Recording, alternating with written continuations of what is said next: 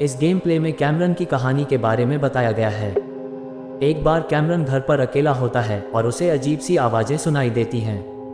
और वह काफ़ी डर जाता है, वह उठकर दरवाज़ा खोलता है तो उसका डॉग बिल्ली अंदर आता है। और वह ज़ोर ज़ोर से भोंकने लगता है, फिर वह आगे जाकर दरवाज़ा खटखटाता है और वह दूसरी तरफ़ चला जाता है।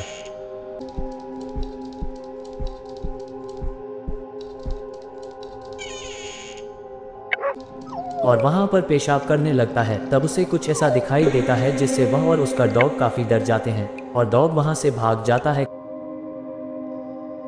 कैमरन उसका पीछा करता है, लेकिन बिल्ली भागता ही रहता है, वह उसके पीछे जाने के लिए दरवाज़ा खोलता है।